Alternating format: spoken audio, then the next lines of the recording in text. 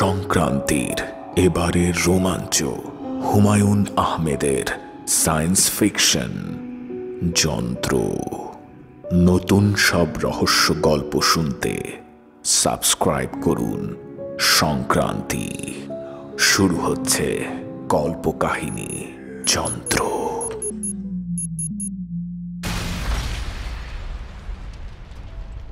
এই গল্পটি সম্পর্কে হুমায়ুন আহমেদ বলেছেন গল্পটা এই শতকের নয়, আগামী শতকের শেষের দিকের। এই জাতীয় রচনার একটা বিশেষ নাম আছে, বৈজ্ঞানিক কল্পকাহিনী মানে সায়েন্স ফিকশন। সাহিত্যের ছাত্রছাত্রীরা বৈজ্ঞানিক কল্পকাহিনীকে মোটেই গুরুত্ব দেন না। কেন যে দেন না, তা সাহিত্যের ছাত্র নই বলে হয়তো বুঝি না। আমি নিজে এই জাতীয় রচনা আগ্রহ নিয়ে পড়ি। লেখার সময়ও আগ্রহ নিয়ে লিখি। পাঠকদের এই তথ্যটি খুব বিনয়ের সঙ্গে জানিয়ে গল্প শুরু করছি।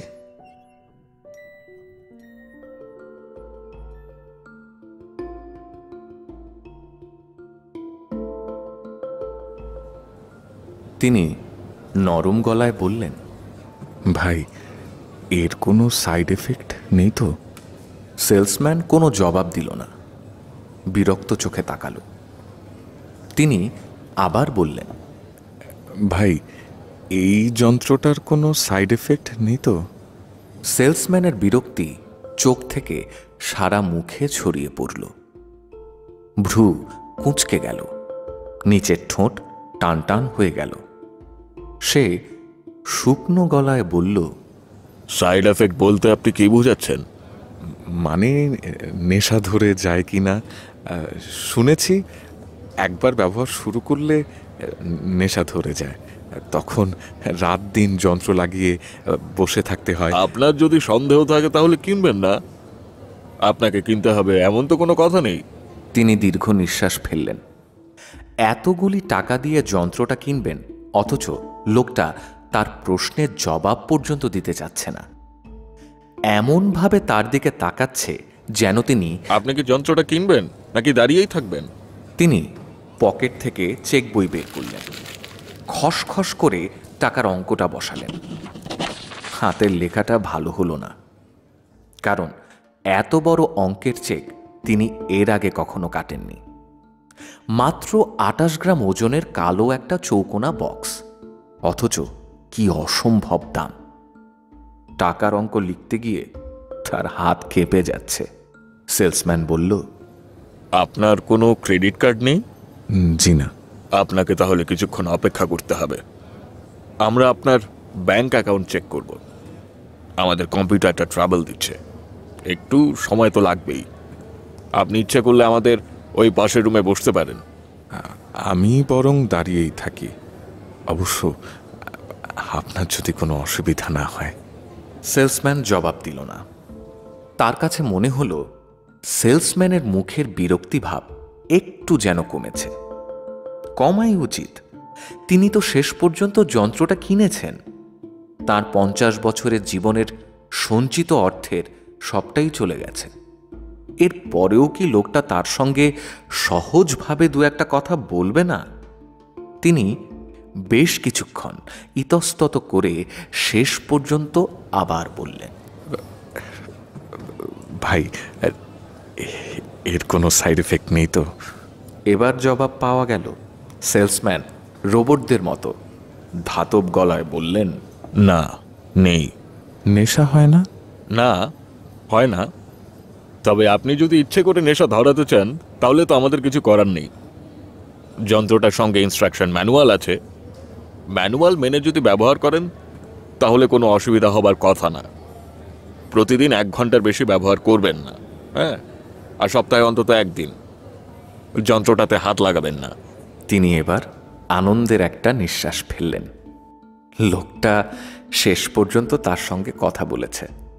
তিনি হাসি মুখে বললেন, আসলে যন্ত্রটা নিয়ে নানান কথাবার্তা হয় তো। তাই মানে আমাদের স্বভাবই হচ্ছে নতুন আবিষ্কার নিয়ে কথা বলা। পি থার্টি টু হচ্ছে এই শতাব্দীর সবচেয়ে বড় আবিষ্কার। এই বিষয়ে আপনার কোনো সন্দেহ আছে? জি না। তাহলে ভয় পাচ্ছেন কেন? ভয় পাচ্ছি না তো। পাশের ঘরে গিয়ে বসুন। আরও আধ ঘণ্টার মতো লাগবে। জি আচ্ছা। একটা জিনিস শুধু মনে রাখবেন এই শতাব্দীর সবচেয়ে বড় আবিষ্কার পি থার্টি টু বিংশ শতাব্দীতে দশটি বড় বড় আবিষ্কার হয়ে গেছে। এর মধ্যে সবচেয়ে বড় আবিষ্কার হচ্ছে death hormone doctor Peter Gleeman প্রমাণ করেছেন, একটা নির্দিষ্ট বয়সে পিটুইটারি গ্ল্যান্ড থেকে ডেথ হরমোন শরীরে চলে আসে। শরীর তখন মৃত্যুর জন্য নিজেকে তৈরি করে। শুরু হয় বার্ধক্য প্রক্রিয়া। যে হারে জীবকোষ মরে যায়, সেই হারে তৈরি হয় না। জরা শরীরকে তাই গ্রাস করে। ডাক্তার পিটার গ্লিম্যান দেখালেন, সালফার এবং অক্সিজেন ঘটিত এই আপাত দৃষ্টিতে সহজ যৌগ এই কাজটি করে। তিনি যৌগটি শরীর থেকে বের করে দেবার প্রক্রিয়াও বের করে ফেললেন। এই অসম্ভব, ব্যয়বহুল প্রক্রিয়া ব্যবহার করে পৃথিবীর কিছু ভাগ্যবান মানুষ তাদের শরীর থেকে ডেথ হরমোন বের করে দিয়েছে। জরা তাদেরকে স্পর্শ করতে পারছে না। আপনি কি বুঝতে পারছেন আমি কি বলছি? তিনি পাশের ঘরে গিয়ে চুপচাপ বসে আছেন। এই ঘরে একটা কফি ডিসপেন্সিং রোবট আছে। সে তাকে এক পেয়ালা কফি দিয়ে হাসি মুখে বলেছে আশা করি এক পেয়ালা উষ্ণ কফি আপনার হৃদয়ের সৈত দূর করে দেবে। তিনি রোবটের কথার কোনো জবাবই দিলেন না। এদের তৈরি করা হয় বুদ্ধিদীপ্ত কথা বলে মানুষকে চমৎকৃত করার জন্য। এদের সঙ্গে খানিকক্ষণ কথা বললেই মানুষ হিসেবে নিজেকে তুচ্ছ ও ক্ষুদ্র মনে হয়। তিনি সামনের গোল টেবিলের উপর রাখা চকচকে কিছু ম্যাগাজিন থেকে একটা তুলে নিলেন। পাতা উল্টিয়ে তার মুখ বিকৃত হয়ে গেল। ভুল ম্যাগাজিন বেছে নিয়েছেন। জেনোকোড নিউজ। জেনেটিক ইঞ্জিনিয়ারিং বিষয়ে রগ রগে সব খবরে ভর্তি। এইসব খবরের কোনোটিরই প্রতি তার তেমন কোনো আগ্রহ নেই। প্রাণীর জিনের সঙ্গে উদ্ভিদের জিন লাগিয়ে কত সব অদ্ভুত জিনিস তৈরি হচ্ছে তার রগ রগে সব বর্ণনা। এসব পড়তে তার ভালো লাগে না। টমেটো জিনের সঙ্গে গোলাপ গাছের জিন লাগানো হচ্ছে। সাফল্য দৌড় গোড়ায়। এর শেষ কোথায় কে জানে? মানুষ এবং উদ্ভিদের এক সংকর প্রজাতি তৈরি করা হবে। আগামী পৃথিবীতে কারা বাস করবে মানব উদ্ভিদ? বিংশ শতাব্দীর শেষ ভাগে মানুষের সঙ্গে শিম্পাঞ্জির মিলনে তৈরি হলো নতুন প্রজাতি। তারা মানুষ না, আবার শিম্পাঞ্জিও না। গাধা ও ঘোড়া সংকট যেমন খচ্চর, এও তেমনি। তবে সেই পরীক্ষা হয়েছিল গোপনে। পরীক্ষার ফলাফল প্রকাশ করা হয়নি। নতুন প্রজাতি সম্পূর্ণ ধ্বংস করে বিজ্ঞানীরা জানিয়েছিলেন, নতুন প্রজাতি গ্রহণযোগ্য নয়। সেদিন এই পরীক্ষার সঙ্গে যুক্ত সমস্ত বিজ্ঞানীকে সাজা দেয়া হয়েছিল। আজ আর সেই দিন নেই। জেনেটিক ইঞ্জিনিয়াররা আজকের পৃথিবীর সবচেয়ে সম্মানিত মানুষ। তাদেরকে পরীক্ষা নিরীক্ষার সব রকম সুযোগ এবং অনুমতি দেয়া হয়েছে। কারণ এই পৃথিবীকে তারাই ক্ষুধামুক্ত করেছেন। জেনেটিক ইঞ্জিনিয়ারদের কারণে আজকের পৃথিবীতে কোনো খাদ্যাভাব নেই। সমুদ্রের শৈবালকে তারা স্বাদু স্টার্চে রূপান্তরিত করেছেন। উদ্ভিদের সঙ্গে জীবের জিনের সংযোগে তৈরি করেছেন সুস্বাদু প্রোটিন সর্বস্ব উদ্ভিদ। জেনেটিক ইঞ্জিনিয়াররা আজকের পৃথিবীর দেবতা। আপনার চেক ওকে হয়েছে। আপনি যন্ত্রটি নিতে পারেন। আপনাকে ধন্যবাদ। আশা করি এই যন্ত্রের কল্যাণে আপনার সময় আনন্দময় হবে। শুভকামনার জন্য আপনাকে ধন্যবাদ। তিনি কালো বাক্সটি বুকের কাছে নিয়ে রাস্তায় নামলেন। রাত বেশি হয়নি, তবু পদঘাট নির্জন। টাউন সার্ভিসের হলুদ বাসগুলি প্রায়ই ফাঁকা যাচ্ছে। তার যে কোনো একটিতে উঠে গেলেই হয়, তবে তার উঠতে ইচ্ছে করছে না। হাঁটতে ভালো লাগছে। আবহাওয়াটাও চমৎকার, তবে একটু শীত ভাব আছে। বেশ কিছু সময় হাঁটার পর তিনি একটা ফাঁকা বাসে উঠে পড়লেন।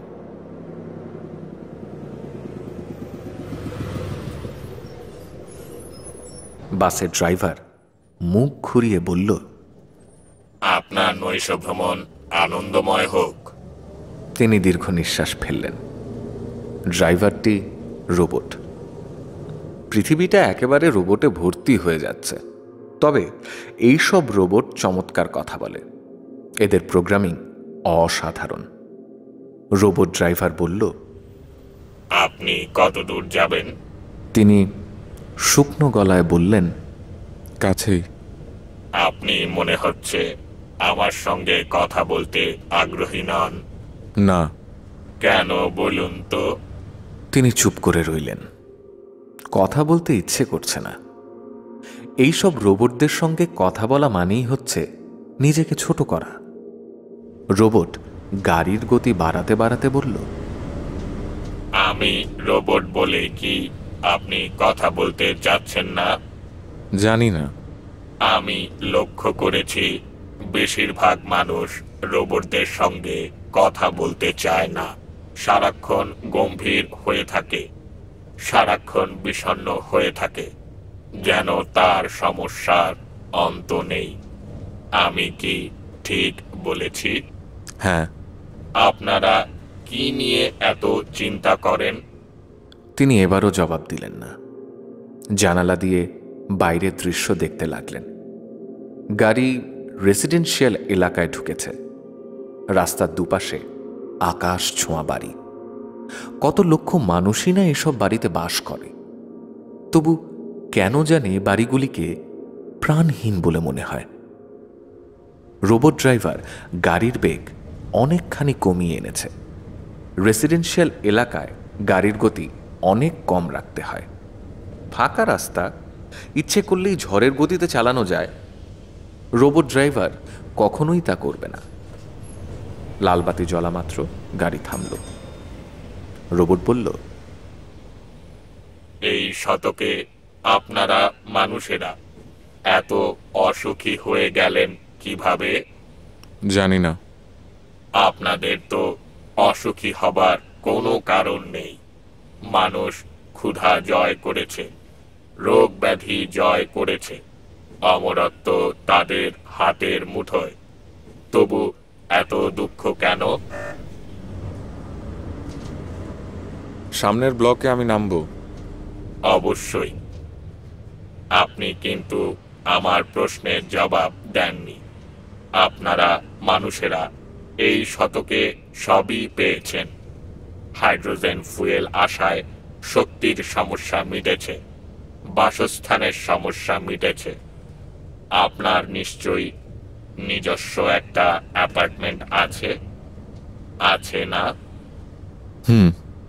আপনি নিশ্চয়ই একা থাকেন না? আপনার স্ত্রী আছে? হুম। তারপরেও পি থার্টি টু কিনে এনেছেন। অনেক টাকা গেল তাই না? হুম। আপনি কি হুঁ ছাড়া কিছুই বলবেন না? আমি এখানেই নামবো।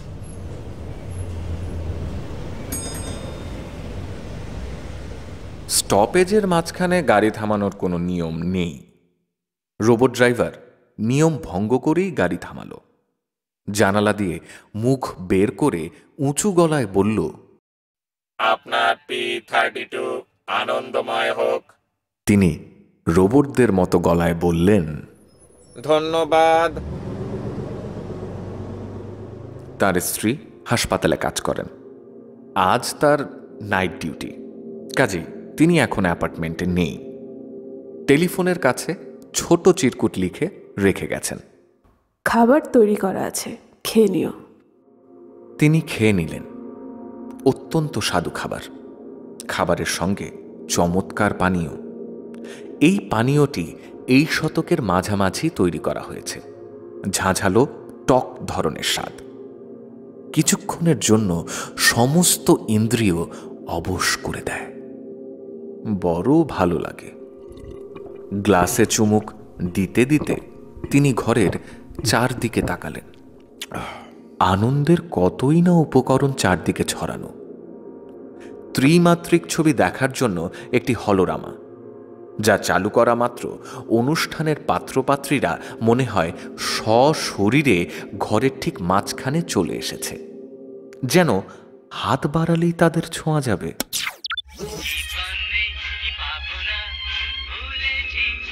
মস্তিষ্কের আনন্দ কেন্দ্র উত্তেজিত করবার জন্য আছে নানান ব্যবস্থা। সুমধুর সংগীত শোনার আনন্দ থেকে শুরু করে নারী সঙ্গের আনন্দের মতো তীব্র আনন্দ মস্তিষ্ক উত্তেজিত করেই পাওয়া যাচ্ছে।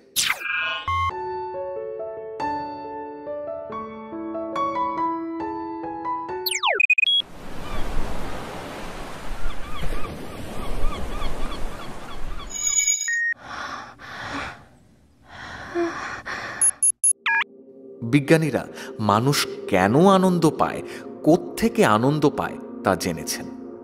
তারা জানেন, বাগানের একটি ফুল দেখার আনন্দের সঙ্গে সঙ্গে পিঠ চুলকানোর আনন্দের বেশ কিছু মিল আছে, আবার অমিলও আছে। ফুল না দেখেও কিংবা পিঠ না চুলকিয়েও অবিকল সেই আনন্দ মস্তিষ্কের বিশেষ বিশেষ অংশ উত্তেজিত করে পাওয়া যায়। ঘরে ঘরে সেই ব্যবস্থা আছে। কিন্তু মানুষ তা থেকে আর আনন্দ পাচ্ছে না। মানুষ ঝুঁকছে পি থার্টি টু এর দিকে। খেয়ে জানে এক সময় হয়তো এই যন্ত্রটিও তার কাছে আর ভালো লাগবে না। তিনি তার স্ত্রীকে পি থার্টি টু কেনার খবর দেবার জন্য ফোন করলেন। রোবটদের মতো ভাবলেশীন গলায় বললেন শোনো হুম বলো। আমি আজ একটা পি থার্টি টু কিনেছি। সে কি? সত্যি? হ্যাঁ। মস্ত বড় ভুল করেছ। কেন? আমাদের মতো দম্পতিদের গভর্নমেন্ট থেকে এরকম একটি করে যন্ত্র দেওয়া হবে বলে কথা হচ্ছে। সেটা কি তুমি জানতে না? হুম জানতাম। তাহলে? কবে না কবে দেয় তাই আগে ভাগে কিনে ফেললাম। তুমি কি রাগ করেছ? না যন্ত্রটা কি ব্যবহার করেছ? এখনও করিনি করব। আচ্ছা তোমার যন্ত্র তোমার জীবনকে আনন্দময় করে তুলুক। আমাদের মতো দম্পতিদের যন্ত্রের আনন্দের প্রয়োজন আছে। তোমাকে ধন্যবাদ রাখি। তিনি টেলিফোন রেখে দিলেন। কাগজের মোড়ক খুলে কালো বাক্সটি বের করে টেবিলে রাখতে রাখতে মনে মনে ভাবলেন আমাদের মতো দম্পতি। এই বাক্যটি তার একদমই ভালো লাগে না। ভালো না লাগলেও তার স্ত্রী এই বাক্যটি তাকে দিনের মধ্যে কয়েকবার বলেন। হয়তো এই নিয়ে তার মনে চাপা কোনো গোপন ক্ষোভ আছে। ক্ষোভ থাকার কোনোই কারণ নেই।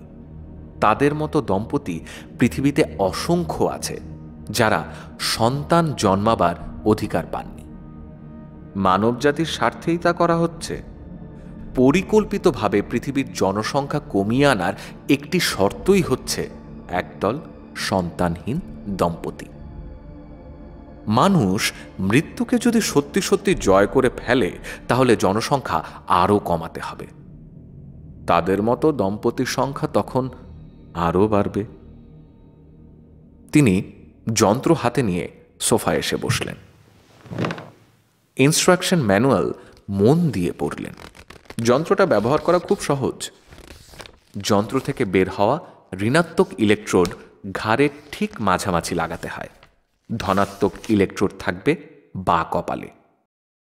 স্ট্যান্ড বাই বোতাম টিপে কারেন্ট ফ্লো অ্যাডজাস্ট করতে হবে। যাতে এক মাইক্রো অ্যাম্পায়ারেরও কম বিদ্যুৎ প্রবাহ স্নায়ুতন্ত্র দিয়ে প্রবাহিত হয়। কারেন্ট অ্যাডজাস্ট হবার সঙ্গে সঙ্গেই নীল আলো জ্বলে উঠবে। তখন চোখ বন্ধ করে স্টার্ট বাটন টিপতে হবে। সঙ্গে সঙ্গে কিছুই হবে না, মিনিট পাঁচেক অপেক্ষা করতে হবে। পি থার্টি টু যন্ত্রটি বেশ কিছু সাপদ জন্তুর মস্তিষ্কে স্মৃতি ধরে রেখেছে। এই স্মৃতি বায়ো কারেন্টের মাধ্যমে মানুষের মাথায় সঞ্চারিত করা হয়। তিনি যন্ত্র চালু করে বসে আছেন। মাথায় ভোঁতা ধরনের যন্ত্রণা হচ্ছে। অল্প পিপাসাও বোধ হচ্ছে। হঠাৎ সেই পিপাসা হাজারো গুণে বেড়ে গেল। তৃষ্ণায় তার বুক ফেটে যাচ্ছে। এই এই তৃষ্ণার কারণেই বোধ হয় তার ঘ্রাণ শক্তি লক্ষ গুণ বেড়ে গেল। তিনি এখন সবকিছুর ঘ্রাণ পাচ্ছেন। মাটির ঘ্রাণ, ফুলের গাছের শেকড়ের ঘ্রাণ, তার জগৎটি ঘ্রাণময় হয়ে গেছে। এবং তিনি এবং তিনি বুঝতে পারছেন, তিনি শহরের সাতানব্বই তলার সাজানো গোছানো কোনো অ্যাপার্টমেন্টে বাস করছেন না? তিনি বাস করেন বনে। গহীন বনে। তিনি তিনি কে? তিনি কি? বোঝা যাচ্ছে, পরিষ্কার বোঝা যাচ্ছে। তিনি একটা চিতাবাঘ বাঘ নয়, বাঘিনী। তার তিনটি শিশু শাবক আছে। গত দুদিন এদের তিনি আগলে রেখেছেন। আজ প্রবল তৃষ্ণায় অস্থির হয়ে এদের ছেড়ে পানির সন্ধানে বের হয়েছেন। পানি কোথায় আছে তিনি জানেন? পানিরও গন্ধ আছে। সেই গন্ধ মাটির গন্ধের মতোই তীব্র। পানি আছে, কাছেই আছে। এক মুহূর্তের মধ্যেই তিনি পানির কাছাকাছি পৌঁছে যেতে পারেন, কিন্তু যেতে পারছেন না। কাছেই কোথায় যেন পুরুষ বাঘটা ঘুরঘুর করছে। এর এর মতলব ভালো না। বাচ্চাগুলোকে এ হয়তো মেরেই ফেলবে। এদের একা রেখে কোথাও যাওয়া যাবে না। অথচ তৃষ্ণায় বুক ফেটে যাচ্ছে। আকাশে বিরাট চাঁদ। তার আলোয় বনভূমি ঝলমল করছে। কনকন করে বইছে শীতের বাতাস। বাতাসে কি অদ্ভুত শব্দেই না গাছের পাতা নড়ছে? যেসব পাতা নড়ছে, তার থেকে এক ধরনের গন্ধ আসছে। আবার স্থির পাতা থেকে অন্য ধরনের গন্ধ। কি বিচিত্র কি বিচিত্র চারপাশের জগৎ। কোন স্তরেই না পৌঁছে গেছে অনুভূতির তার শরীর থরথর করে কাঁপছে। তৃষ্ণায় বুক ফেটে যাচ্ছে। অথচ অথচ কি আনন্দই না তিনি রক্তের ভেতর অনুভব করছেন। তিনি জলের সন্ধানে এগুচ্ছেন। অথচ তার সমস্ত ইন্দ্রিয় তার শাবকদের দিকে।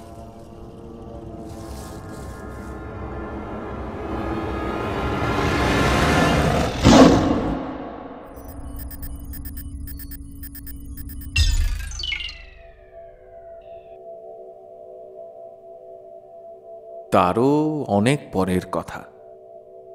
ডেথ হরমোন রক্তের ভেতরই ভেঙে ফেলার অতি সহজ পদ্ধতি বের হয়েছে। মানুষ জরা রোধ করেছে। মানুষকে এখন অমর বলা যেতে পারে। বার্ধক্যজনিত কারণে তার আর এখন মৃত্যু হবে না। জীবাণু এবং ভাইরাস ঘটিত কোনো অসুখও পৃথিবীতে নেই। মানুষকে এখন কি তাহলে অমর বলা যাবে? হয়তোবা। অমর মানুষেরা এখন দিনরাত ঘরেই বসে থাকে। তাদের কাজ করার প্রয়োজন নেই, কাজের জন্য আছে রোবট শ্রেণি। চিন্তা ভাবনারও কিছু নেই, অমরত্বের বেশি আর কিছু তো মানুষের চাইবারও নেই। এখনকার মানুষ দিনের পর দিন একই জায়গায়, একই ভঙ্গিতে বসে থাকে। পি থার্টি টু যন্ত্র লাগিয়ে পশুদের জীবনের অংশবিশেষ যাপন করতে তাদের বড়ই ভালো লাগে। এটাই তাদের একমাত্র আনন্দ।